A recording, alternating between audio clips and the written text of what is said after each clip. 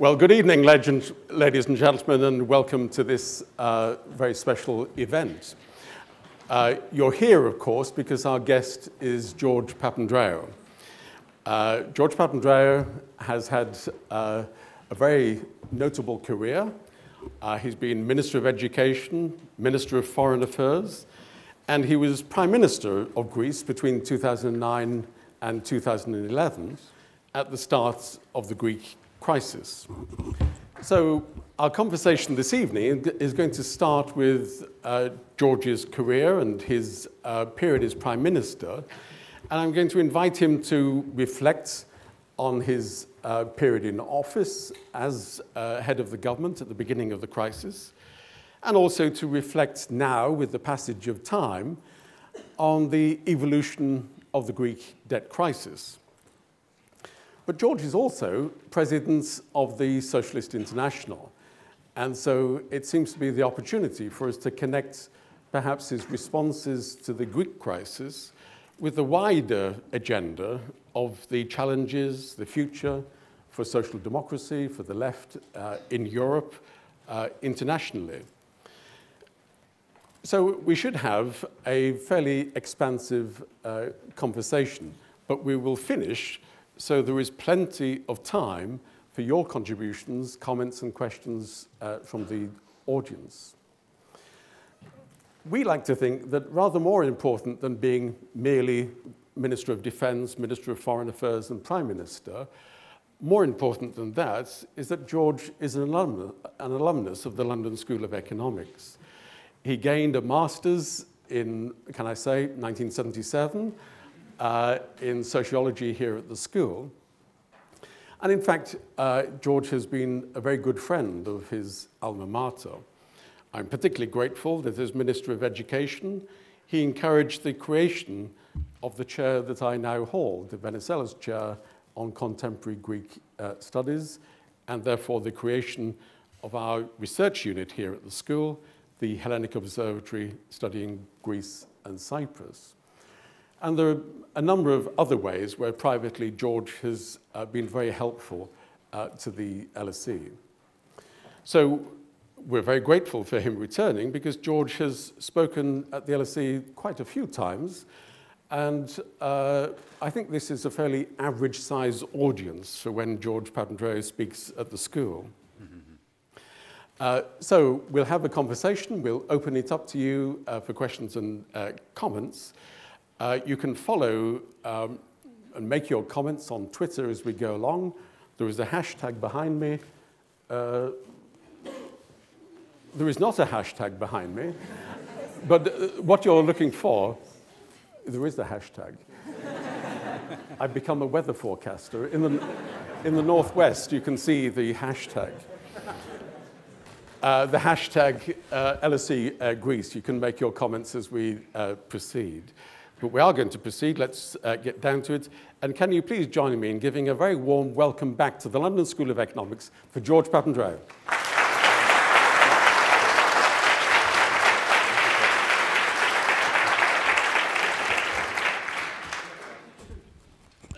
Perhaps I could just start with um, a more personal question, George, if I can. Firstly, let me also welcome you uh, personally uh, here. Um, Perhaps to an international audience, a question which might uh, arise is that George Papandreou is the third prime minister in his family. Was it inevitable that you would pursue a political career? Was it predestined? Uh, well, thank you, Kevin, again, and um, it's great to be here again at the LSE, and certainly at the time when uh, many issues. I think uh, even though Greece is a particular case, one can um, hopefully deduce a number of uh, very important um, conclusions about what's happening uh, in Europe, the UK with Brexit, and of course around the world with uh, globalization and, uh, and the global capitalism. But um, yes, I, I, I wasn't planning to get into politics in, in the official way, uh, even though many people would say, why don't you get into politics when I was a kid? And uh, mm. because of my, both my father and my grandfather were one way or another involved.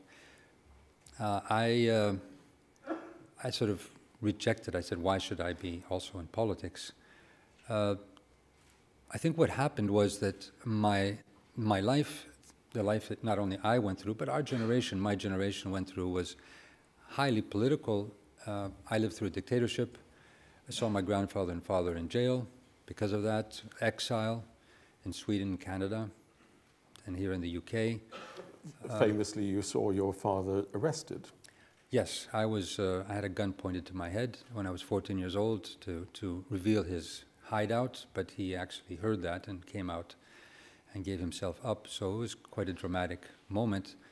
But other than that, that was not just my experience, the experience of quite a few Greeks um, uh, during the dictatorship. Uh, the torture, the um, then, of course, as a student, the movements, uh, anti-Vietnam in the U.S., uh, the movements for black power, ethnic power, gay movement, uh, environmental movement, women's movement. These were all very uh, nascent movements at the time, but very powerful. And so when uh, I got back to Greece uh, after the exile, of course, I got involved more as an activist in, in, in politics. Um, I worked a lot on education, on civic education, sort of how, yes. how is a democracy working and so on. And then finally in 1981, um, I decided that um, I was given this offer, but there was a sense that things could actually change. So that's when I decided to, to go into politics. But until then, I was saying, no, no, no, not politics. I'd rather just go to a Greek island, play my guitar, and, and enjoy I can see life. the attraction of a Greek island playing a guitar. Um, I wonder if we could fast forward then to 2009. You become uh, Prime Minister. You're leading PASOK in a notable uh, electoral uh, victory. Um, Perhaps it would be useful for you to identify what your expectations, aspirations were for government. What I'm getting at is that uh, as you entered government, you appeared to wish to make a conscious break with previous PASOK governments, the government of Costas Simitis, for example. You had a new set of personnel for your, for your government. This was a new image, new face uh, for PASOK how would you identify uh, your party coming to power in 2009 in relation perhaps to a wider European uh, left, but also with the predecessors, the, uh, the government of Costas Simitis, for example? We had uh, our basic slogan is either we change or we sink. Yes. It actually rhymes in Greece. We, we would say in Greece. But um, we really had a sense that there were needed deep structural reforms, which, uh, uh, although they had been, there had been quite a few changes in Greece over the years after the dictatorship, the, there were some areas which really remained um, sort, of, sort, of, I would say, as, as, as established um, practices that had to change, practices and, and structures that had to change. Uh, so even though during the PASOK era where we had, we developed a number of things, right? We would have you know, the, the, health system, the pension system, uh, the, the welfare system in general, but also some decentralization and so on. Still, Greece was very uh, top-down, centralized, mm. very highly bureaucratic, and um, still politics highly clientelistic. I usually try to describe the Greek economy as a, as a clientelistic capitalism, not crony capitalism, but ca clientelistic capitalism, where uh, sort of the spoils of, of, of the government uh, are given to certain groups or certain individuals. Uh, and that basically was a way that wasting the real resources and the capacities, and of course, deeply unmeritocratic as far as you know utilizing the great capacity that Greeks do have. And, you know, just thinking about the Greeks that are living in, in the UK or studying or, or working here, there is a huge capacity in, in, in the Greek population, whether in Greece or outside Greece in the diaspora. So that, so my idea was let's make deep reforms in the political system and in the governance system, because that was actually what had uh, created the problem we were, were, facing. We didn't realize, of course, the depth of the problem at the, at the moment of the, the deficit and the debt and the, the reaction of the markets to what Greece was uh, going to be revealing, what I had Yeah. to be revealing as Yeah. to the actual situation, Yes. of course. But you appear to make a conscious decision to uh, not simply follow the modernization project of Costas Simitis. George Papandreou's government would be different from that. And I wonder how you would explain that difference, how you would uh, characterize the difference between what you hope to achieve in government and what uh, the Simitis PASOK government had achieved. Well, obviously, the Simitis government had achieved quite a few things. We had, um, I would say, one was the infrastructure, uh, huge infrastructure projects, and that's changed Greece quite, quite, quite a lot. Of course, coming into the euro. Now, some would say we came into the euro er, too early, but still, that was an achievement. Um, the the um, uh, on in foreign policy, which I worked a lot, we had uh, uh, were able to uh, reshape the relations with with Turkey, uh, bring Cyprus into the European Union, uh, and uh, play an important role in Europe, the sort of European prospects for the Balkans and Western Balkans in particular, but also all of the Balkans. So these were these were important um, important elements, but none of these dealt with the core problems of the Greek state, which I think is um, unluckily something which goes back even to the beginning of the Greek state in Indeed. 1830. Indeed. And, uh, and with, there have been repeated attempts for modernizing or changing this. And, uh, and obviously, this has gone up against um, very strong resistance uh, in, in, in embedded interests. Uh, so I said, this is what we need to, to do. Uh, and uh, particularly since we're in the euro and in Europe, and uh, we need to, to become a much more um, open, transparent, modern state.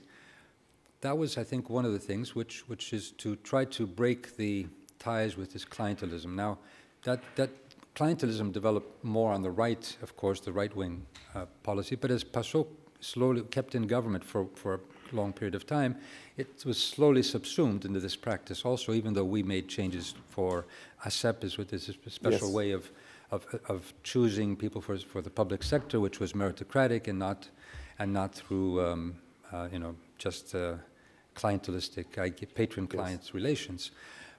And, but this, uh, this was going against the grain, of course, and, uh, but that was the slogan, that was the, what we were promising, and that's what people voted for. Uh, I would add to that, that if we talk about the European left, I, our program was very much a green program, so we were saying we want to be in the forefront of, of bringing, linking both the social democrat, social democracy with the green agenda. We wanted to become, as we call the Denmark of the South, so opening up to, to green and renewable energy, the whole uh, sustainability program. Uh, we also wanted to be much more decentralized, decentralizing governance, much more deliberative, so bringing in forms of uh, participation, uh, popular participation, citizen participation in deliberation, which I think was um, a somewhat um, quite different than the sort of traditional social democratic procedures, which were a bit more uh, party-based and, and more hierarchical. We were much more in this tradition of, of bringing in grassroots movements, opening up to different movements, and so on. So that's, uh, and of course, we, we in Greece, uh, and this is not just our party, but many, many of the parties in Greece have been much more a pro-European, um, but a European, of course, seeing Europe with, with the changes that are needed, of course, and I think there are quite a few changes that are needed, but uh, we wanted to see a deepening of integration and, and uh, strengthening of, of the European Yes. um, presence in the world. On the economic front, of course, he came to power after the onset of the international financial crisis. A year before, there'd been the collapse of Lehman Brothers in the United States. And uh, perhaps uh, part of the support for your government was uh, indeed motivated by hope in the context of an international financial crisis. There's another way, etc. Now, famously, of course, you use the phrase "lefta ipahun," that is, uh, there is Money exists, yes. Money exists. There is money. Resources exist, yes. Now, uh, if I remember correctly, in the speech, uh, that was a very qualified um, reference, but it became associated with you that uh, uh, PASOK comes to power, we're going to have a reflation of the economy. There is money. Um, very soon, you would be told that actually uh, the economic situation is much more difficult. And I wonder at what point you realized that uh, this was a kind of mamma mia moment, as it were, that uh, the economics were going to be much, much uh, tougher. I understand that uh, others, like the then uh, central bank governor, Yorgos Provopoulos, for the Bank of Greece, uh, would say that he was telling each of the party leaders uh, at the point of the election in 2009 that there's a deficit problem and it's not looking good. I wonder which point you realize that actually uh, the economy and the government deficit was going to be a major constraint for you. First of all, on the money exists, it was a, it was a very qualified what I said. And then, of course, what happened was that um, the, at some point the opposition just used, cut that phrase, yeah, yeah. and did not re read, uh, would not talk about the other things that I said as I said that. And in all my statements, I said, of course, we have resources if we do this, this, and this. And what I said, if we fight tax evasion, if we fight corruption, if we fight waste, if we cut red tape so we can bring in uh, investment, then uh, these are the types of things. If we merge a lot of the um, uh, government agencies which were overly populated and so on. So I was saying these are the things we have to do. Anyway. Anyway, and these will give us resources. And actually, I still believe it, and I, I would say it again, because we did prove that. I mean, for example, when we cut corruption in, in the, by, by posting every um, possible uh, um, uh, the um, disbursement, dis, dis, disbursement and decisions, uh, financial decisions of the government and from the local to the central government online with a small, very quick and simple law which said nothing is legal, no expenditure is legal if it is not posted on the web. Mm. Uh, that immediately cut out a lot of waste and even some corruption, uh, so people could not, because people could see and people could, could so, they, so the, the government was accountable to the view of the, each citizen, journalist, the public, uh, or, for example, with the uh, e-prescriptions, where we put in yes. a uh, very simple software program where doctors had, who were contracted with the government, had to use the computer uh, program to uh, prescribe medicine. Because what was happening is they were over-prescribing, uh, they were getting kickbacks from the multinationals. The multinationals were making a lot of money. Some of the doctors were making a lot of money. And people were being very unhealthy because Greece is now number one of the two countries, the number two country uh, in, in, in Europe that has um, diseases from the overuse of antibiotics, and we have a lot of uh, uh, deaths in hospitals because of this. Uh, and, and of course, it was very unhealthy for the pension system too, our, our, our, social welfare system, because it cost a lot. Well, just through this one measure, we cut the cost by 3 billion euros. Now, 3 billion euros is as much as we get in property taxes in Greece every year. So what I was saying is this is where the money is. If we have good governance, if we have transparent governance, if we have meritocratic governance, if we have, if we use electronic governance, e-governance uh, for making things quicker, simpler, less bureaucratic, yes, we will have resources able to do this. Now, so the core of my program was actually didn't change. As a matter of fact, we had to push even more because we were seeing that if we didn't do these reforms, we would have to cut wages more. We would have to cut pensions more. Let's, for example, on this e-prescription, if we had to find another three billion that we didn't find from that from there, we would have yes. to cut more more from our from uh, the other program. And I didn't, I didn't, I was, I think, one of the uh, candidates that, uh, that uh, had promised the least as far as uh, economic or financial benefits. We did have, um, we did say we were going to give 1 billion to, 1 billion extra to education. We didn't do that, finally. Of course, that had to change. We said we would bring in nurses because we had too many doctors and too few nurses, and that was actually counterproductive. We did that because that actually meant, meant the hospitals would be working more efficiently. we were going to give uh, a, a stipend to the poor. Uh, we actually raised tax in 2009 and raised 1 billion of tax from taxes from the richer parts of society and, and, and, and corporations. But we only spent half of that because we realized that we had to um, deal with the, the, deficit crisis. And I so, wonder, so, uh, sorry, so, so I th- what I would say is the core of the program remained. remained. But what happened was that the deficit crisis and the sovereign debt crisis, uh, of course, took all the attention uh, and became the priority, unluckily, for um, all our ministers and the government because we were going otherwise bankrupt.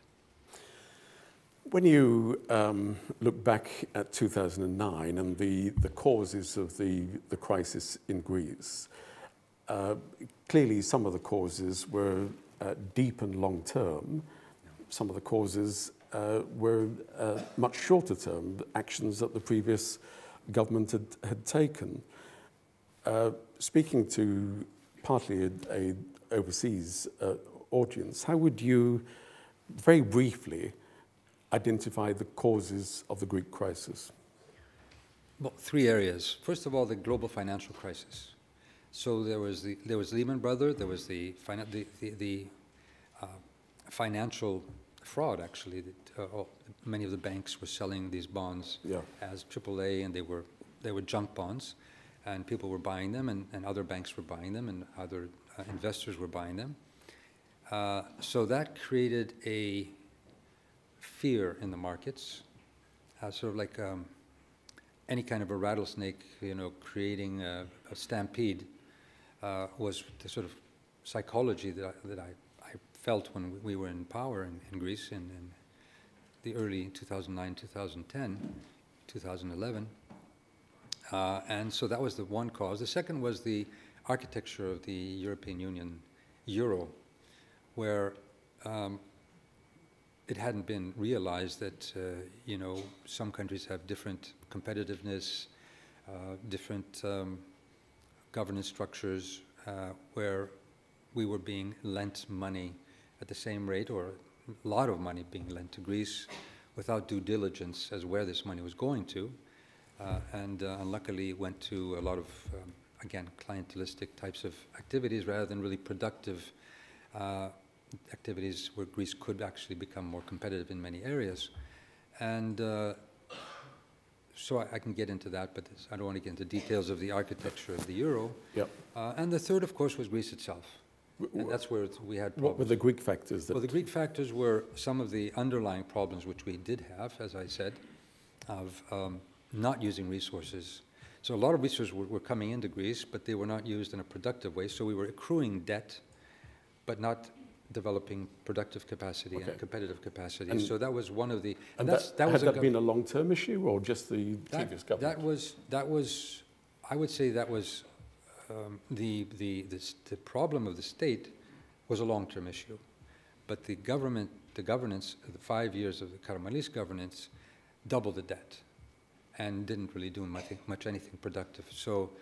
Uh, so we had that problem, but the worst of the problems, which I diagnosed uh, later was that um, even though Provopoulos may have come to us the last moment saying, you know, there are there is this possibility that you know we may have a high budget uh, de deficit. Uh, we had no official um, information from the government, even though I had asked for it, and that just shows another structural, yes. institutional problem. Yes. Can you imagine a government not telling you the truth about the budget, not telling, not the opposition, but the Greek people, what the budget is, hiding that, and not only that, but then sending false information as to what the budget deficit was three days before the elections. Now, what that meant, what that meant was that when we got into government, there was a huge, not only deficit um, gap or a debt gap or a competitive gap, but there was a huge credibility gap. Mm. People could not believe that this happened and then could not believe our statistics. And that created even more havoc in the market. let me reassure you that uh, in the UK, in the context of Brexit, we can fully understand governments uh, giving information which may be contestable. Uh, we're used to that. Uh, okay, let's now then talk about the uh, progress of the, the crisis. May 2010, there's a, a bailout. Uh, and you're uh, speaking to the Greek publicans, talking about the, uh, the necessity of, of this bailout. On reflection, why wasn't the first bailout enough? The first bailout, I would say, um, possibly we could even have avoided the bailout. Had, and this is where I'll be critical of, of the European Union, mm. the, when, the Europe, when Europe, our partners in Europe, looked and saw the problem in Greece, they initially said, oh, this is a Greek problem. Yes. So the whole burden was on Greece to change. But that wasn't true. The markets were very jittery. Uh, the markets were wondering is Europe going to support Greece, not just its reform program, but support its bonds? Its, is it, well, you know, is it, are, are we going to go out and say, you know, don't worry, market, Greece is doing its job and we're going to support Greece. Uh, as was done actually two years later by Mario Draghi, who said yes. at some point, we, these markets, because they were not, they were not hitting Greece then, they were hitting Greece also, but they were hitting Italy and Spain and, and even France and Belgium. So there were countries that were really being under pressure from the markets that they, they saw their spreads or the interests on their bonds going up to a point which they would most likely need to be bailed out also. So what Mario Draghi did is he said, listen, these markets are speculating. I am going to tell the markets, I'm going to do whatever it takes to stop the markets, to mitigate the markets, this force, and stop the speculation. And I'll even buy the bonds of Italy and the bonds of Spain at, at a price which will undercut the speculation in the markets. Now, if that had been said for Greece when we were doing our reform program, we may not have needed to ask for money. And actually, I, I went to Merkel and I said, I don't want your money. I don't want to come for money. I want your support in the markets so that I can continue my reform program. And of course, Merkel was saying, "Don't worry, the markets will understand." And I said, "I'm not sure the markets will understand." There's, uh, and, and, they were actually overreacting, and even the rating agencies, after they had been, you know, uh, com complicit in rating these AAA bonds, now they were finding, they were wanted to show their aus their austere nature, and by hitting Greece, so say Greece, would, you know, so they were, we were really having problems. Um, we didn't have the support then. So I think that was one of the issues. Uh, the, the, the, second point was um, Europe was doing too little too late, so the markets were not being. And, the, and then the, and the program, they were asking from Greece too much and too quick. Right. They, were, they were asking the, for the that. troikas. Yes. Very, very, I mean, we, we had the record, uh, at those time we were records in the OECD uh, of cutting the budget more than any other country in the world, and yet in the OECD, yep. that is. Uh, so we had we were number one, and we were number one in reforms compared to any other country after the the, right. the, the, financial crisis. So we were doing more than anybody else. Now, now, the whole issue was that these reforms and this adjustment program was to take us out into the markets. But after a while, people saw that, and then Dominique Strauss-Kahn in this famous trip that he never made to meet Merkel from New York was actually going to go and tell Merkel, listen, this program uh, is not, this is not just a Greek issue we have to figure out because Greece will not be able to access the markets in 2012. That was the point when we were going to go out and access the markets from this adjustment program. But the reason was not because of Greece, it was because the wider euro was doing, not doing well. Right. When we think of that first bailout, some, of course, argue that it had the wrong priorities um, it was too tough uh, at the time. I wonder um, what you've just said uh, suggests that it was a content and prioritization which was given to Greece rather than Greece volunteering this particular uh, set of priorities. Uh, on, re on reflection, do you feel that the the priority actions were uh, perhaps the, the wrong ones other things could have been done better? Well, I had always said, even from the beginning, but you know, you're in a, we're in a difficult, difficult negotiating position when you, you have two, two choices between bankruptcy uh, and leaving the euro and maybe following a program, which is then uh, uh, dictated in some way or another by your, by your uh, lenders. Um, of course, we negotiated. But, uh, and the first, I would say, there, there were three memoranda. Yeah. You should read them all. I would, I would suggest everybody should read them all. The first one, I think, was the most um, um, uh, lenient, if you like. But it, again, it had the problem that it was putting too much emphasis on quick fiscal consolidation, that is, cutting the budget deficit very quickly, rather than looking at the deeper reforms Greece needed. And I felt that the, my part, partners in the European Union didn't really understand the Greek problem that well.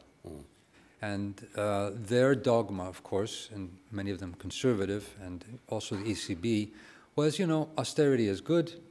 The markets will that will things bring things, you know, into uh, into balance, uh, and uh, so the formula was always if things didn't go well, more austerity. If things don't go well, even more austerity. Yeah. And that was the wrong formula. And one gets the sense. I, and I would add to that, there was one other point which I think here in the UK you can understand quite well the uncertainty. So Britain is now going through this period of uncertainty what's going to happen with Brexit, you know, where's the, and that is hitting the economy. Mm. That's hitting people's lives. Uh, companies don't know what they're going to stay or leave, uh, invest or not invest. Well, we had a very similar situation, but that wasn't to our that wasn't our choice, but it was a rumor and a very strong rumor that Greece may leave the euro. So what will happen? What happened is that during those two years when um, we were in the initial stages of the first program, and you know, we, where we would have had growth, where people were interested in investing, when they heard that Greece would possibly leave the euro, then they would say, okay, I'm not going to invest. I'm not going to borrow. Actually, the banks wouldn't lend. Um, I'm not going to consume. I'm going to take my money out of the country or yeah. put it under a pillow, under the mattress, or uh, foreign direct investment. Uh, we had the Qataris, they were going to invest 15 billion in the El Elliniko, which is the old airport. Yes. When they heard about Grexit, they said, actually, let's wait and see. Maybe we'll invest when you have drachmas. And at that time... So that's that's been a paucity of economic you. development, and yeah. that really undercut the program also. Thanks. At that time in 2010, you never gave serious consideration to Greece exiting the euro. Actually, we did. Um, uh, I'm, I'm, I'm, glad um, that actually Tsipras now has recognized this publicly, that um, because he said in a recent um, speech he made in um, Berlin at the SPD, the Social Democratic Party, he said, well, you know, I thought in 2015 that uh, I thought after the referendum that uh, maybe we, you know, if, if we leave the euro, it would actually hurt the social classes we represent, that is the poor and the middle class, and, uh, and more than staying in the euro. Well, that was the dilemma we had in 2010, and we actually made that decision. I remember we had a board, mm, a whiteboard, and I had my um, ministers and advisors there, and I said, okay, these are three or four scenario. One of them is going bank, go bankrupt. You know, we say we don't pay. And um, the other one is leave the euro, or maybe do both, bankrupt and leave the euro. Uh, and um, the third one would be follow a, an adjustment program and stay in the euro. So we actually looked at what these results would be if we chose one or the other. And we came to the conclusion that uh, it would be better to stay in the euro, something okay. that after many years, uh, even this prime minister who was uh, otherwise thought differently and, and was very vociferously uh, um, opposing what we were doing now has come around and to say that. So that even though there were difficult sacrifices, um, people decided, we, felt, we thought that this would be best. Now, uh, some people say, well, this, was this is now eight years, eight and a half years of, of trials and tribulations. We didn't expect that this would last so long. No, no. And, uh, and there were many reasons why it did, and there were other, other reasons too. I mean, we had um, different from Portugal and Ireland and Cyprus, um, an opposition that was not at all helping. From Yes. all, we were, we had, we were nobody Yes, that was in, I was going supporting. to ask precisely about that, that uh, students here write essays comparing bailouts in different countries and the, uh, as it were, the lack of ownership in Greece of a bailout agenda, reform agenda, and contrast that with other countries, as you say, uh, Portugal. Um, I know that later on you considered a referendum, but in the context of spring 2020, when the main opposition party is saying that uh, Greece should not accept the terms of the bailout, wouldn't there, be, wouldn't there have been a political advantage for you to have had a referendum at that point? Are we in or are we out? And that could have defined the rest of the agenda and um, uh, placed the opposition in a more compliant position. Well, that was my thinking, So, you, actually. okay. And that's why I called for a referendum. And uh, I said, let Greek people decide and own our decision, which way we wanted. Now, the, the referendum would not have been in or out. The referendum would have been we have this second program, which was um, actually a huge haircut of over 100 Mm. billion, the biggest ever haircut in recent history, not for Greece, but around the world. Uh, we had, uh, of course, also further adjustment, which would have been uh, obviously painful. But So, sorry, what I meant was that uh, we know that you were um, talking about a referendum in autumn 2011, but why not have a referendum in spring 2010? Antonis Samaras and New Democracy are, um, I'm sure many of your supporters saw the reaction as being opportunistic. Uh, wouldn't there have been a political advantage in spring 2020 saying, let the people decide? Are we in? Are we out? Are we accepting this bailout? spring 2010. 20, spring 2010. Okay, that's why I, I'm I got a little bit confused. Yeah, the um, th- there are there were a number of reasons. Uh, one was more technical. The other ones were more political. We had just received a mandate, uh, quite a resounding mandate. So it was 45 percent, and, and and we had a majority in in. Uh, in the parliament, and we tried. I tried to get Andoni Samaras to uh, vote with me in that um, but we were also, and this I think has to be quite, we have to understand this, and this is important not only for Greece, but it's important for, uh, I think, our democracies. Unluckily, because the markets are so powerful, they see any, they were looking for any uh, inkling of um, possible um, destabilization or not following the accorded course. And so, been too risky. so it was, so it would be risky that we would actually precipitate Okay. a, a, a possible bankruptcy. S- Secondly, we had very little time because when we decided to go for the bailout, we actually had, we, we, we, it took a certain procedure and it was quite a long procedure. We had about 24 hours before we would go bankrupt in the end. Uh, so we didn't really have much time to think about a referendum. There was a third technical issue.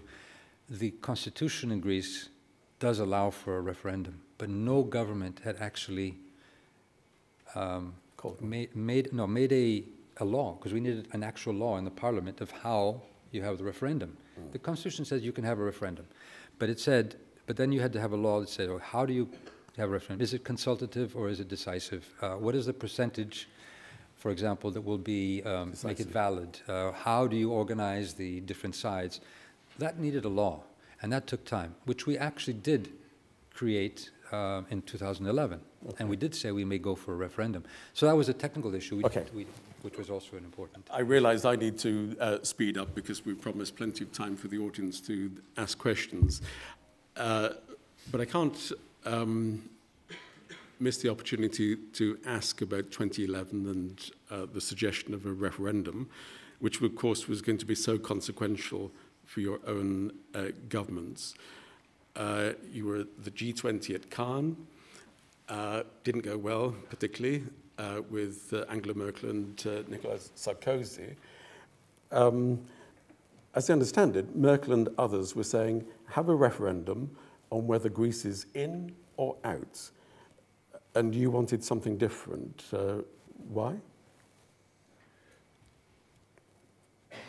The um, referendum was uh, something I had actually talked to a number of the leaders, Merkel, Juncker, Barroso, Van Rompuy, maybe, I assume most people know these names. Yes.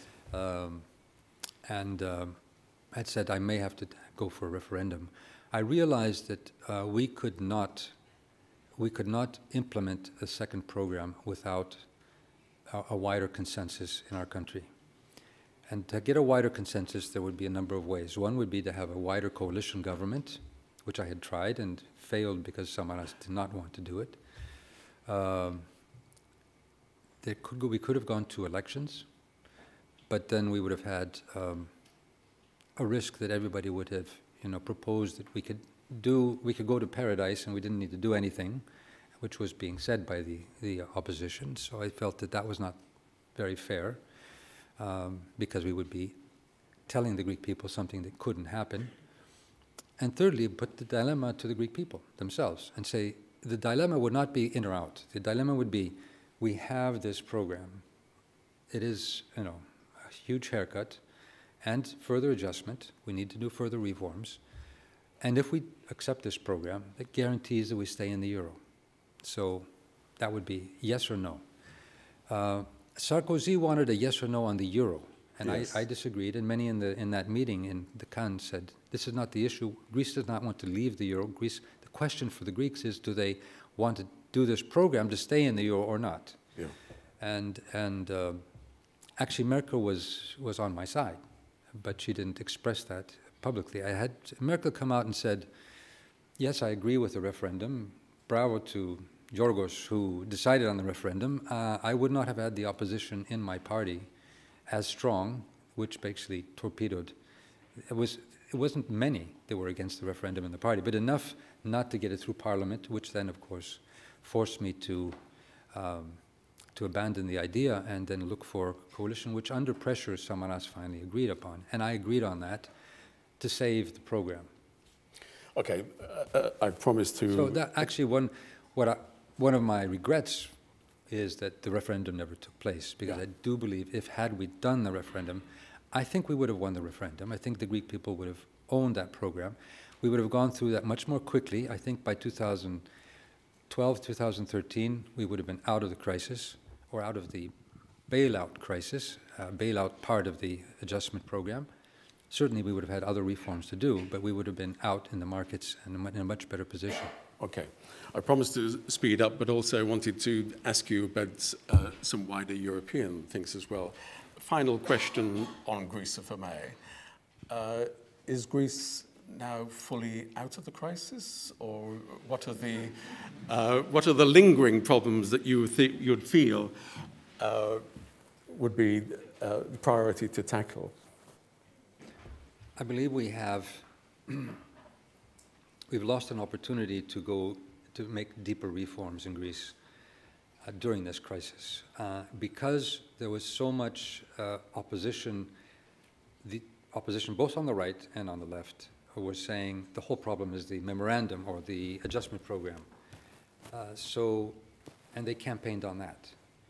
And they were elected on that, against the memoranda or against the adjustment program.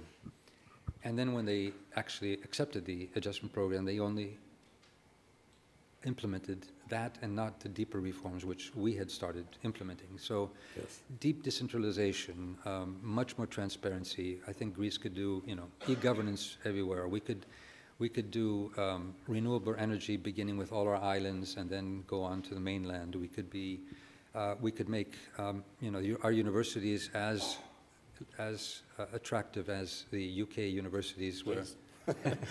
Well, Not so soon, this, this is, this is giving, this is, this is an, op- well, unluckily Brexit Yeah. for, for, for Britain may create Yeah. problems, but it, uh, I'm sure there'll be others. There, there's a whole, the Greek universities could be opened up, and we had a reform there too.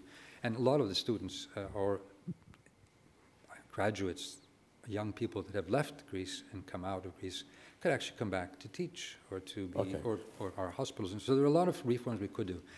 I think that we lost the opportunity to do that. Now we still need to do that. So without doing that, um, we are now in a situation where we have two parties basically vying for power, and you hear they're basically um, proposing things that I would say are somewhat clientelistic. Again, they're not really deeper reforms, uh, which is not uh, going to bode well for really uh, investment, startups, um, you know, uh, new types of, of, of, of um, uh, companies that could actually be more productive and competitive in, in, our, in our country. So an opportunity has been missed. Uh, Greece is uh, required to have uh, an election before um, the end of uh, next year, well before the end of next year. Uh, if you look at the opinion polls, um, the prospect is that no single party would get a majority. Uh, there's then the question of who's going to form a coalition with whom. If it came uh, to a situation in which the, uh, the two main parties, Syriza and New Democracy, were more or less of the same size or not a great difference uh, in terms of seats in the parliament after the election. But yourself, your allies on the centre left have a choice to make. Are we going to support a Syriza co- coalition? Are we going to support a New Democracy coalition? What would you do? Uh, I think the our movement at, at the center left or the socialist left, social democrats, uh, we, my my opinion is that the question is not because everybody's pushing this idea that okay, some you have to create a coalition because otherwise Greece will not be governed. Uh, now, the governability issue is an issue, it was an issue, quite an important issue during the crisis. I don't think Greece has a problem of governability, and they don't need, if, if we are a third party, for example, I don't necessarily need that we, we have to be there, we have to be in power. We so have to can be a in- minority government. well, we'll see. But I would say the, the focus should not be on who are you going to be with, but what do we want to change in Greece? Okay, okay. And that is, should be our compass uh, in, our, in our party here. We, we need changes in Greece. That is what we, and we, we, we are putting out a program, we have our ideas. This is where we not. So being in government, that's not the issue. Being a minister again, or for the first time, that's not an issue. You know, enjoying the spoils of, of, of, of power, that is not, that is exactly the wrong way to look at politics. Okay. What are the major changes we need in Greece? Let's fight for them, and I don't care if we're in government or not in government. Maybe we can fight for them better outside of government and really push for reform that is Okay. necessary. Some of the supporters of Alexis Tsipras have compared him to your father, the young, younger Andreas Papandreou. What do you think about the comparison? Well, um, many have emulated, Attempted. attempted to emulate uh, my, my father, and even from the right and also from the left. Um, the, think there, there are major differences in policies. Um, my father, of course, came into power at a very different time in Greek history and the world, Cold War. We were still under the um, sort of dependency in the U.S. and uh, with the uh, experience of a dictatorship, uh, which was, if not masterminded, at least supported by the CIA and, of course, the U.S. government, and the desire for us to be able to be free from this kind of dependency was, was very strong, but also the need for a welfare system. So there were major changes, and, and, and, I, I think over, as I said, periods of time, as PASOK was in power for many years, uh, we started to be subsumed into this, uh, this sort of statist, clientelistic policy. Uh, and that was, of course, negative, a negative thing for us. I think um, Syriza was very quickly subsumed into this clientelistic uh, and didn't really come to make any, I would say, progressive reforms. Okay, there were some issues, for example, on, on um, same, same-sex marriages, uh, that issue, um, legalization of uh, medical cannabis, okay. But these were not, these are not the central mm. problems of Greek, the Greek state, and they did not attack, they did not stand up to the interests that really are keeping Greece from being a productive and not a parasitic, clientelistic state. Okay. Uh, and so I would say that they, he was, I mean, you can, you can emulate the motions and the type of voice, but that doesn't give you uh, the real oomph to make the changes. I'm reminded of the US presidential debate when a senator from Texas said, um, I knew Jack Kennedy. Jack Kennedy was a friend of mine. You're no Jack Kennedy. Uh, that seems to be what you're saying about the current prime minister. Okay. Uh, last couple of points uh, quickly, if I may. Um, some on the left uh, write about the, the future in terms of a different kind of left, a more radical left. Writers like uh, Chantal Mouffe talk about this being a populist moment, uh, moment for the left, that the left could more easily achieve power in these circumstances of people feeling socially excluded, uh, problems post-crisis, uh, etc., that the left could achieve power across Europe much more easily with a kind of radical populism. Wearing your Socialist International president's uh, hat and perhaps being sensitive to the Greek uh, context, uh, would you say that that kind of radical populism is a good strategy for the left at the moment? Radical, yes. I wouldn't use the word populism because it has many different connotations and um, there's some negative and positive, depending on what country, what part of the world you are. Uh, populism can be seen in different ways.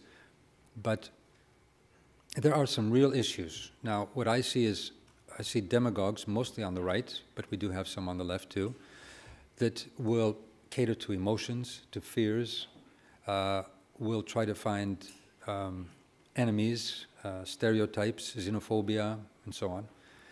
Uh, but there are some real issues.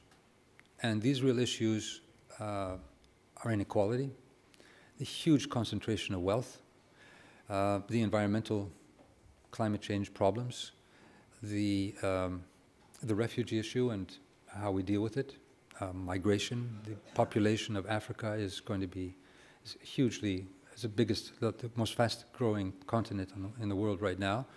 Um, and there are issues in technology, of course, too. Mm. We're not only creating, I mean, the internet, we used to be in sort of the, an anarchist dream where everybody would have equal access and we could sort of self-manage our world.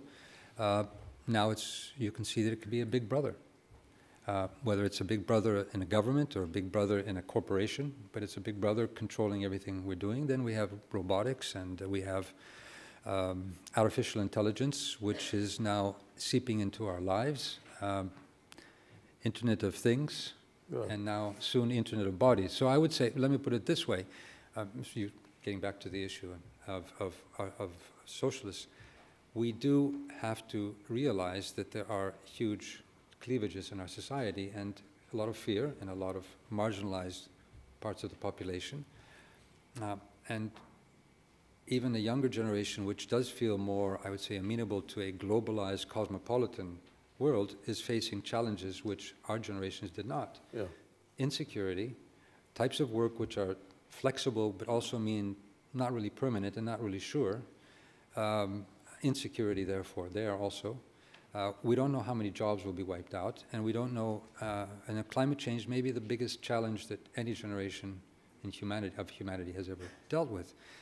So I believe we do need um, a more radical approach because what social democracy uh, has been was basically to it was a social contract, of course, between the capitalist, the government, and the workers. Um, but over time, and particularly in Europe, I would say, it became more of good managers of the capitalist society um, and did not see that, that there was a fallout in society. And we need to bring back um, uh, the sense of citizen empowerment. Yeah. I get And, the, and, and, and, and, that I mean, needs to be changed. And that could be done radic- in a radical way. I mean, radical changes need to be done. Yeah. And we have to th- rethink democracy to, to revitalize it and to empower people. Uh, but not, I wouldn't call it populism, though. okay, I get the point about the con.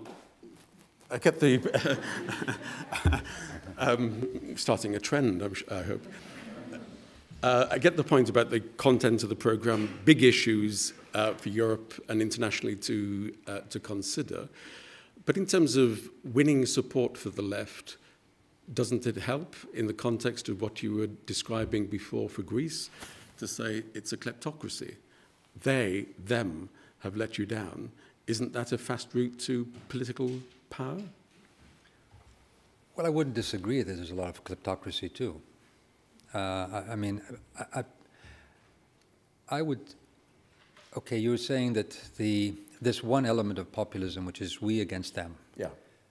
Um, but I think if we look at reality, there are big issues, but we don't have to make it a, let's put it this way, um, an extreme rhetoric uh, creating a cleavage in society which cannot be, cannot be bridged. But we do have to be quite adamant that, you know, these people that have global wealth, there's 1% if you like, or the 10% that have 90% of global wealth, they aren't going to listen to us if we don't organize. Right. They are not going to be, there, there are some benevolent billionaires and maybe soon trillionaires, but, um, um, and they will be doing their nice programs in Africa and maybe in some other parts of the world. But um, uh, they are not going to listen to us unless we do have a strong coalition of forces saying there are deep injustices in this world, in this globalized world. Um, the social contract has been basically undermined.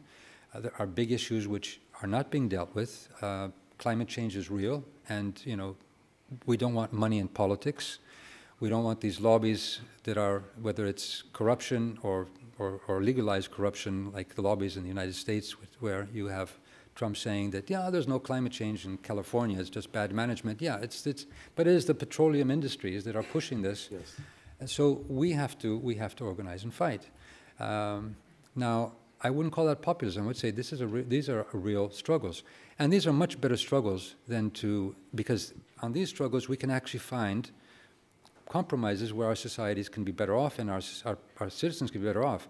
The types of struggles which say you're black or you're white, or you're Muslim or you're Christian, or you're, I don't know, what that kind of an identity division, there's no solution to that. There's no compromise. So, more of a class struggle we have to get back to. But of course, classes are very different today. But there has to be a much wider coalition of citizens that do feel marginalized and do want to have a voice, do want to be empowered. And that would be a more radical democratization of politics where we give citizens. I would just give you an example. I proposed, and luckily it wasn't accepted or wasn't uh, um, taken, taken as an idea. We have these so called Spitzenkandidat in Europe. Um, for those who may not know, it's sort of like a, a candidate for the head of the Commission of the European Union. And the different European parties, um, the EPP or the PES or the Greens or whatever, put up a candidate uh, and say this will be the candidate for our commission, for the commission, if we win uh, Yes. a majority or a larger vote Yep. uh, in the parliamentary elections, the European parliamentary elections.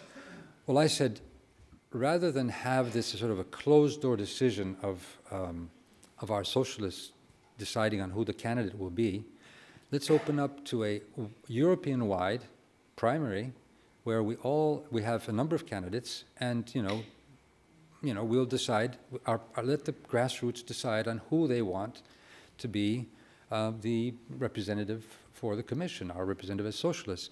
And then we'll have real debates about, we'll have, and we'll give power to our citizens, we'll give power to our members, to our friends and our citizens to say, we want this kind of policy in Europe as socialists, as social democrats. We want that person who represents, not, not because he's a German or a Slovak or a, or a Dutch, which now there were two, Slovak and a Dutch, but they would actually have the vote. The vote. So I think we need to really think uh, how we um, radically rethink uh, democracy to empower our citizens uh, in, in, this, in this new world. Okay, many thanks.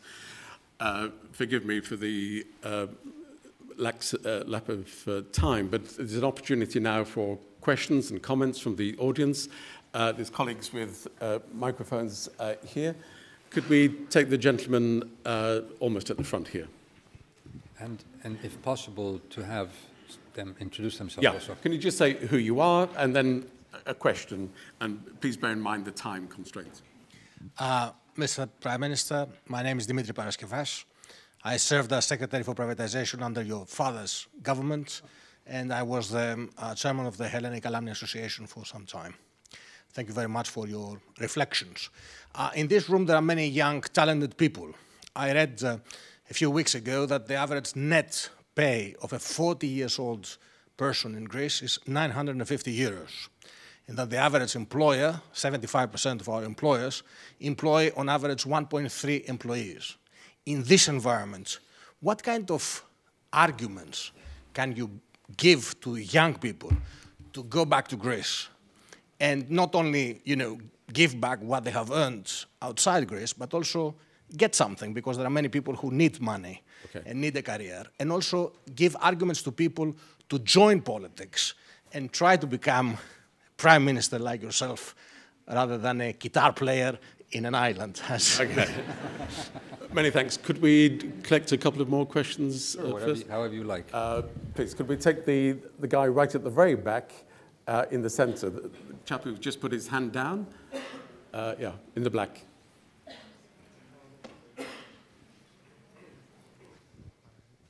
Hi, um, my name is Panos Tsoukalis. I'm a second year undergraduate student at UCL.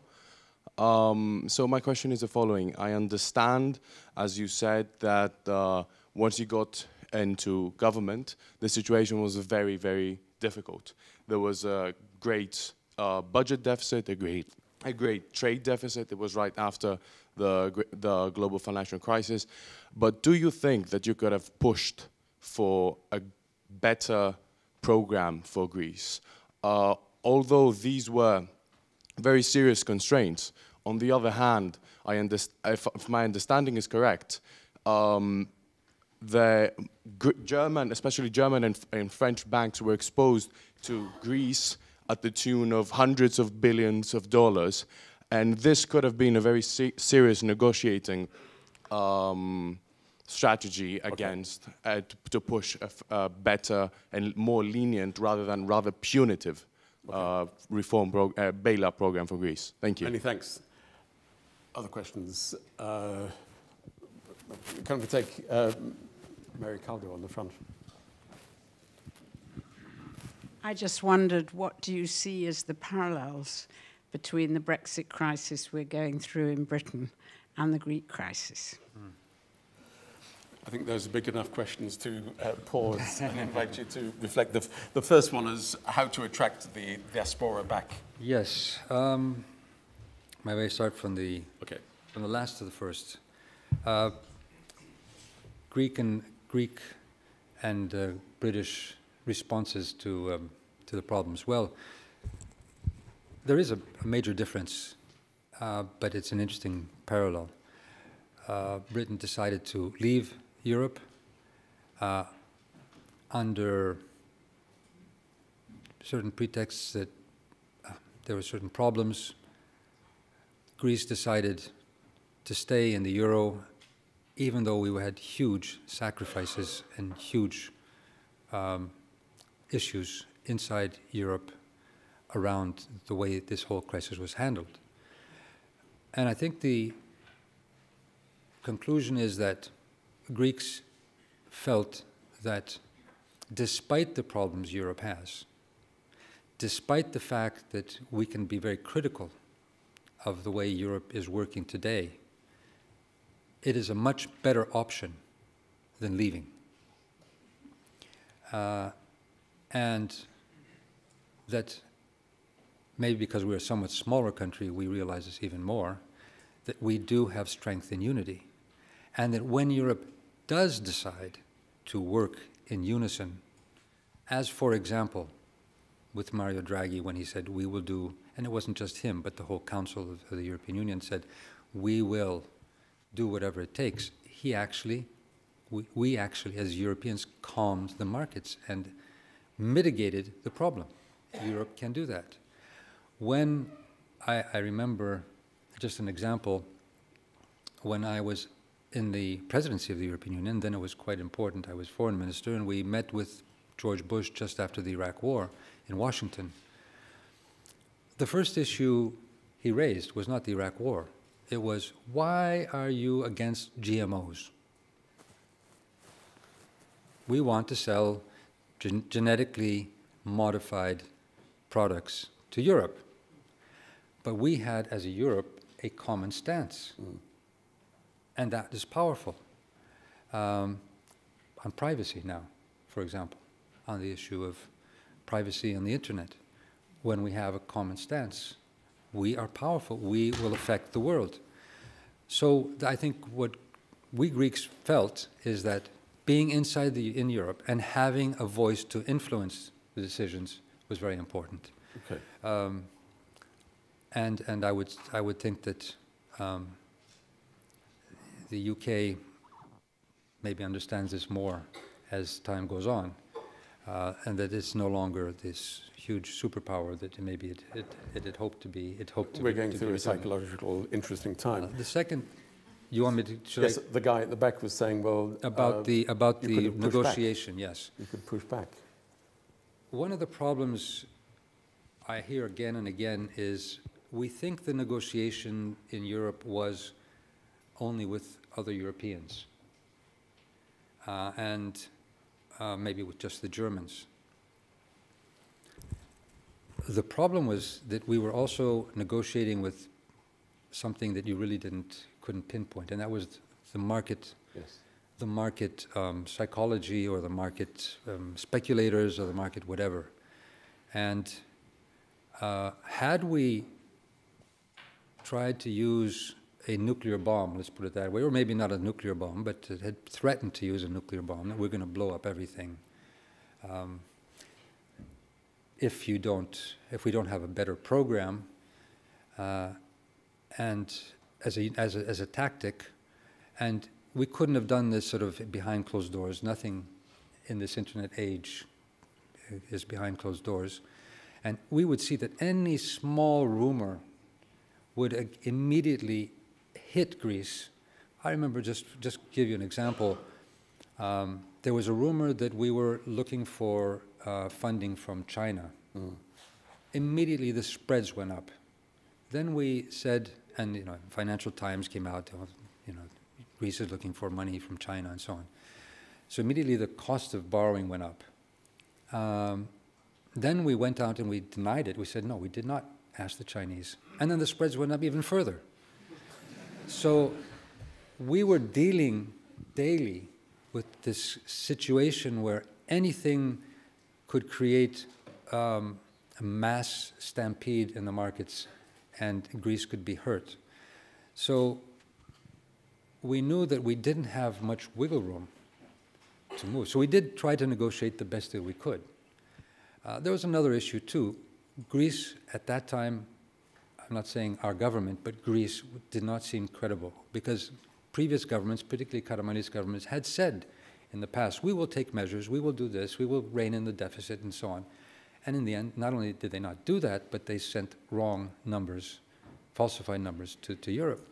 So we had a very, very skeptical European Union partnership or Euro partners towards us.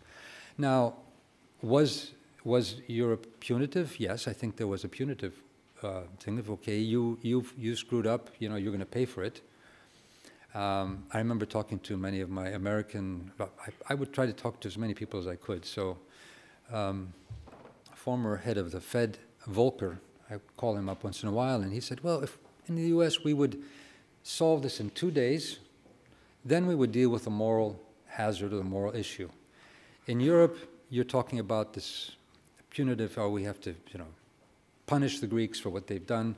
And this was at a time when we as a government were actually taking measures that had never before been taken. Yes. So this was, this was very negative, and that was a problem. Um, so I, we didn't really have much, uh, much, and, and, and, and, and if you want, this is not only my word, but then Samaras came in. He did not have much wiggle room, and you could see that. And then Tsipras came into, and he almost blew the whole thing apart. And you, you saw that there was not much wiggle room. Now that doesn't mean that we didn't, we shouldn't have tried different things. And I think we could, I think Tsipras could have followed a different tactic, and I had proposed a different tactic. Because uh, I think he could have gotten, after so many years of, of, of adjustment, I think the Europeans were ready to actually be somewhat more lenient. But when you had a, well, here in, in here in, in, amongst many sort of leftist circles, he's sort of a superhero, Varoufakis. But the damage he did to Greece, adding about a hundred billion more of, of, of, of um, cost and debt, uh, was, was huge. Um, but it just showed that we didn't have much room. Now that is a problem. That is a problem. I'm not saying that's, that, that this, is, this is a good thing. What I'm saying is that if Europe really wanted to, to, to, to work together, we could have harnessed the markets and, and made the reform program much more humane and much more uh, palatable. Okay. Um, so then we go to the issue that Mr. Paraskevas mentioned, an important one, and we have a huge brain drain. Um, the question is, can we have a brain gain now from this? This, this is, well, if we don't have, if we don't cut down red tape, where young people can come back and say, do a startup, if we don't um, create the conditions where we're actually helping entrepreneurs, helping new companies, uh, if we don't create a banking system which will actually lend to new, new ventures and not just say, okay, what is your collateral? Because that was the system. Um, if we don't really highlight that we in government will be creating a government that's meritocratic, that is also transparent as much as possible, and not just bring in our friends, you know, and see how we control the different ministries or the different agencies.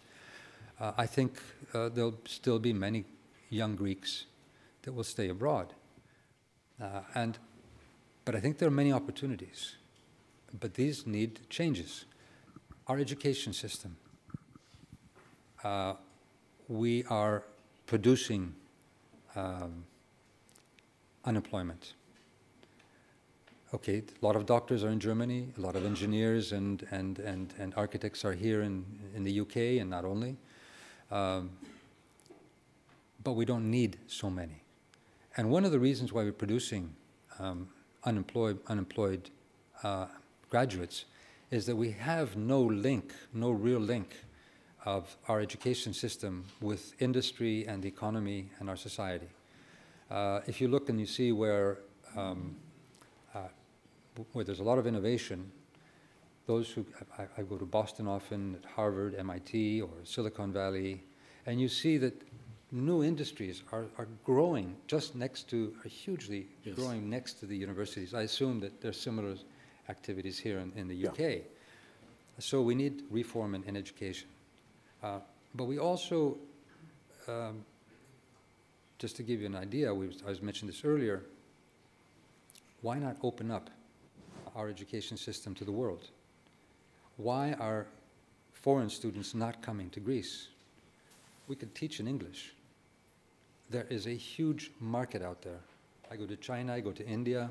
Cyprus is doing it. Cyprus has 50,000 foreign students, not only Greek, but from all over the world. Greece could do it too. What a better place to study.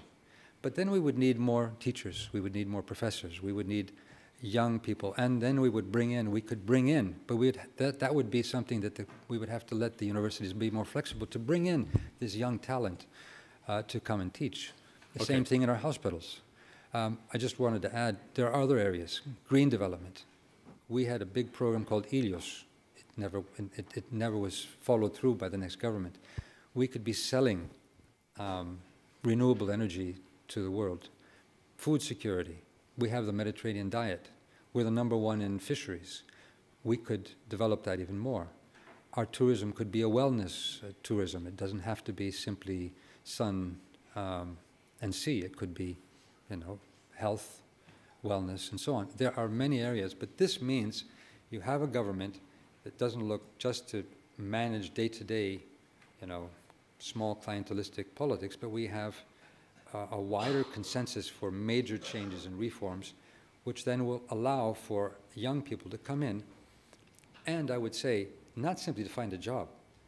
I would want this younger generation to shape the future of Greece. And that's why I think they need to get into politics, not in the sense of being professional necessarily. Many of them may want to become professionally engaged, but be active. Be active. And Facebook is not being active. Facebook is false empowerment. Uh, be really active uh, offline also. Many thanks. Uh, can we take two very quick uh, questions? Uh, could we take the lady on the far right, please? Thank you very much, Professor. Just briefly, if that's okay. Um, Say who you are. okay. Uh, my name is Sana Musharraf. I am originally from Pakistan, and right now uh, I'm an unemployed LSE alumna.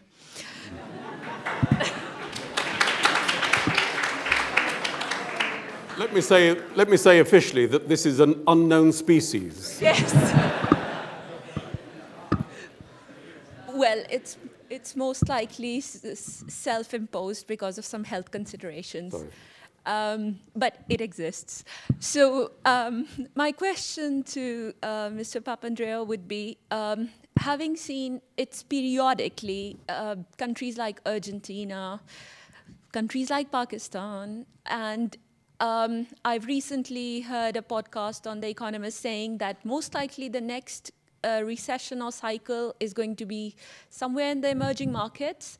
And these cycles do happen. But from your experience, I've not been able to get a credit card because I'm unemployed.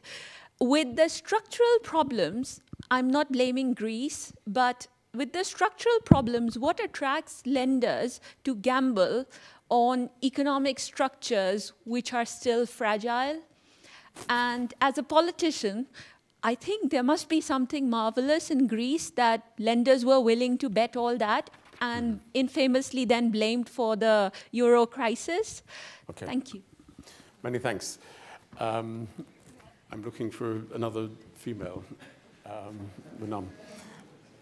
Could we take the gentleman in the centre with your hand up in, in black here? Yes, you. Hello. Um, my name is Yanis Manselinas. I'm a medical student at Imperial College. And uh, what I'd like to ask is you've talked to us a lot about today about the crisis and all the reform programs you wanted to bring in, which have been, would have been marvelous if it was actually implemented. But uh, I feel today you've been a bit trying to whitewash history in a sense, because what we did see was a destruction of Greece. Uh, unemployment soaring, public debt soaring, and all the rest. So, yes, it was indeed a great pressure from the market and so on, but do you think that your government did the best they could with the data that they were given? And you're expecting him to say no? okay. No, I could say, I could say, what would you Thank do? you. What would you have done differently? Yeah. I mean, that's the question. But what, let's maybe take a third, or did you want to begin with these? Yes, there's a lady in the centre uh, here. Could you get a microphone? Yeah, he's coming to your left. Hello, uh, my name is Evita Suri. I'm working in the Department for Business in the UK A little bit closer so I can, the, the microphone. Okay. Uh, so my question is, I would like to draw upon a political term you used, which is the so-called clientelistic capitalism. Uh, we know political theory suggests that this type of capitalism is characterized by distinct and rigid policy networks uh, with players that maintain disproportionate level of political clout. Uh, back in 2009, you came with a very progressive program uh, with fresh ideas for structural reforms. Uh, the question here is, how did you plan to change these dynamics of these policy networks in order to allow for institutional change that would then increase the reform capacity of the state? Mm -hmm. Thank you. Okay. We're going to run out of time, so just briefly, if that's okay. okay. Well, the, if you look at the program, the, the, many of the issues, beginning from the last question, many of the reforms were to fight against this clientelistic state. It wasn't just clientelistic, was highly bureaucratic and red tape, and that was part of the, and centralized also, that was part of the clientelism. When you centralize power uh, and uh, you have very, a lot of red tape, you end up citizens asking for favors when they should be rights. So citizens, for the simple rights they have to go to a hospital or to have, uh, you know, a permit for their uh, opening up a, a, store, those become politicized and, and, and, and, and instrumentalized so that uh, I can get your vote. So I can say, you come to my office, I will help you, and then you vote for me. That was one reason why we have such a centralized Greek state. It was a way to control not only dictatorships, but also through clientelism. So decentralization, we had a major reform with, uh, we had five levels of governance, we went to three with Kallikratis. That's, uh, uh, we cut down on, on, on, quite a bit of the bureaucracy there. Um, we have the peripheries, the regions. There needs more to be done. We need to bring more um, uh, more power to the to the regions uh, and and uh, but we did already make a big step. The transparency, uh, wherever we could do it, um, hitting on clientelistic, this is one way to hit clientelism and, and corruption also, uh, so people can see what's being done. Thirdly, also our, our, our employment policies. Very clear, you can't be employed in the in government um, um, structures as a permanent uh, employee without going through rigorous exams. Uh, so, and then of course the the um, the way we, we, we, we create some independent bodies that will check power, the misuse of power, whether it's in comp competitiveness or whether it's uh, you know fighting uh, money laundering. We set up a special prosecutor, uh, um, tax uh, tax evasion, which tax evasion sometimes we think of tax evasion you know, from the small shopkeeper, but the biggest tax evasion were huge, quite strong, uh, powerful oligarchs in Greece that were able to get uh, laws through to wipe out um, their taxes. Um, so I would say that these are these are the these are things that I, I, we, we were pushing through. Okay. Um, secondly, I think the problem was that, that we were falling off the cliff. That Greece was, was headed towards destruction um, before 2000, before I took over, with the doubling, with doubling of the debt and the huge deficit. We were falling off the cliff.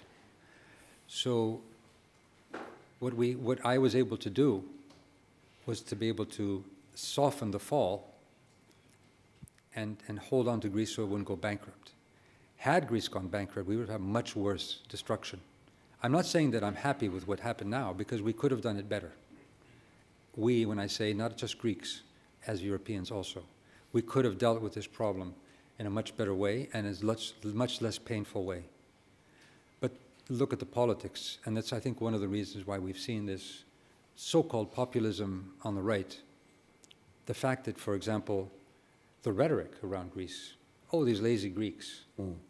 You know, and that was official statements by politicians in other countries, the lazy Greeks. Well, how would you able, be able to convince your constituency in Germany or in Austria or in Finland or wherever else or in Holland to support Greece if you thought they were just lazy Greeks making money and just, you know, enjoying their lives. Um, when I looked at the statistics in the OECD, Greeks work more than any other European. We're number one as far as hours are concerned. Now we have other problems, but it wasn't being lazy.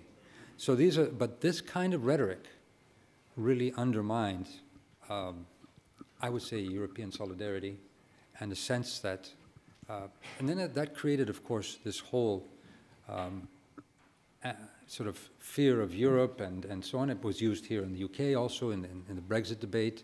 You know, how, how, can we be with these other nations that are so different? Um, so I think that this, the, the, the, the, right was, was, was, was um, so in that, in, in that atmosphere, we were able to, to be able to save Greece from, from bankruptcy. When people were saying, I had, I had the Dutch prime minister, he's still prime minister Rutte, who was saying, oh, why not? Let's have a country go bankrupt. You know, companies go bankrupt. Let's have Greece go bankrupt. I mean, he was actually saying that in our meetings. Um, so, without understanding the pain it would have taken, because we would not have been able to pay any wages in the public sector, none, no wages, and most likely no pensions. And that would have been for, for a long time. And we would have been kicked out of the euro. We wouldn't be able to pay our debts. What would that mean? Would that mean? Now, if you haven't lived through it, it's very nice to say, okay, you could have done many different things. But, you know, this is, these are the difficult political decisions you have to make. I'm proud I made these decisions because I felt, I, and I know I may have made mistakes, but I didn't make mistakes in a way that was purposely on, you know, making mistakes. I was, we were fighting, it was like, it was a fight every day. Like a forest you know, fire. It's like it's a forest fire. It's, you know, you can, after the game, you can say, well, you should have thrown the ball this way rather than that way. But that's easy to say. So what we did, we were able to save Greece from, from major bankruptcy. But I'm unhappy that we could have gone through this maybe in two, three years and not eight years and still with other burdens there. Finally, um, I think what you're, you were mentioning, we have a global capitalist society where th there are um, power is, is moved away from many, very much the nation states. I mean, that's why I think we need Europe. We need Europe because we need to be able to humanize globalization. Uh, that's what I think, why I would be very much against what the Brexiteers are saying the, big, the big problems in the world are not going to be solved by more isolationism, by going off to your own corner or to a nice Greek island, but you're always welcome to come to Greek island. But uh, um, problems are global now. Uh, but not only are problems global, but there's huge power has moved from our, our societies to of kind of a stratosphere with a lot of wealth, uh, technology, and so on which then is starting to constrain our freedoms. I think we'll see that more and more, and corporations will, will, will do this more and more. Our freedoms will be constrained through technology because we will be followed by these corporations day in, day out. Not just governments, but by corporations. They will know, you know, if you've, you know, jaywalked or if you paid back, you know, you, you uh, what, what, what kind, of if you're unemployed or if you maybe have a health problem or so on. And they will, they will set the rules as to whether you get a credit card or whether you, get, you can borrow or not. And that's why I think we need to bring back politics, because these issues should not be, these new norms, these new laws should not be set by big corporations and, and these major uh, this, this, this, this, this centralized power of, of, of wealth that we are seeing around the world. They should be set by our societies. We should decide, you know, how we want to deal with these, these new issues and, and, and, and how we want to deal with everyday life. So I think coming back to that, that issue, we need on the one hand more cooperation at the global level and I would say the European level. Europe can be a model of humanizing globalization Europe can, if it wants, push the issue of the Paris Agreement, environmental, um, uh, climate change issues, um, how we deal with refugees. We could deal with it in a much more humane way if we work together. And that's why I think Europe is important. But at the same time, we need to give more power to our citizens and allow for them to be much more, uh, to, to decide much more on, on, on the type of societies we are going to be creating. We have not only a lot of wealth, but we also have this, these new technologies which are, you know, as Yuval Harari has spoken about, has written about, um, we're becoming little gods. But who, who has the power? Who is controlling this technology? Uh, who will be owning the robots? Who will be, and, and, and who will decide, who will have the means of production, if you like? And if we don't give this power to our citizens and then as a society decide on what is morally right? What are, and these are, I think, questions that are not technical anymore, not mm. simply policy driven, but they are deeply moral questions. I think that's where we also, as, as progressives, need to bring the, the moral issues uh, more and more into it. Uh, I think our societies will, okay. will, will, have, will see a lot of disintegration and, and polarization and, uh, and, and, um, and divisions we've run out of time. Can I, uh, in closing, thank uh, my colleagues for the organisation of the event and colleagues around the school uh, for helping uh, with this uh, event as well. We had a discussion as to how we could thank our speaker as a distinguished alumnus of the LSE. What could we give a distinguished alumnus uh, such as George Papandreou? And we eventually decided that we should give him not this bag, but the contents of the bag. and uh, being a, a, distinguished alumnus, what would he wish to take away from the London School of Economics? And we came up with that. so, can I thank you very much indeed? Please thank you, George Papandreou. Thank you very much.